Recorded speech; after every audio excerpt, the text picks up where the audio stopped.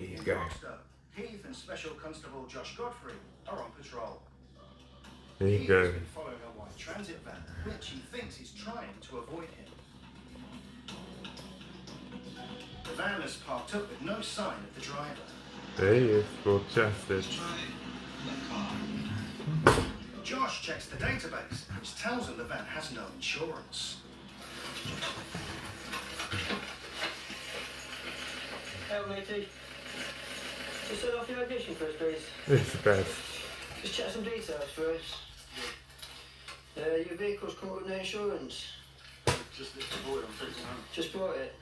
As well as no insurance, the van also doesn't have a valid MOT or tax. They tell Keith they bought the van for £200, including all the scrap metal inside, which they hope to sell.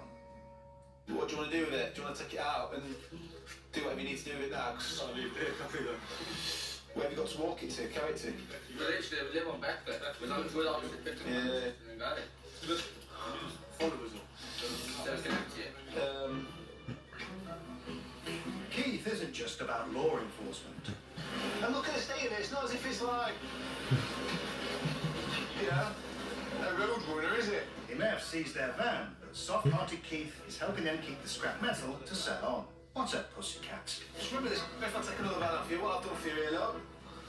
Yeah, I don't think he could make any more noise if he tried, but he's, uh, it looks like he's enjoying himself.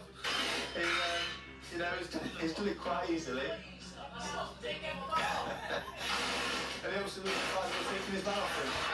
As well as the van they had just paid £200 for being seized, the driver was fined £660 and given six penalty points for driving a vehicle without insurance or an MOT. The van was never collected from the pound, so it was crushed.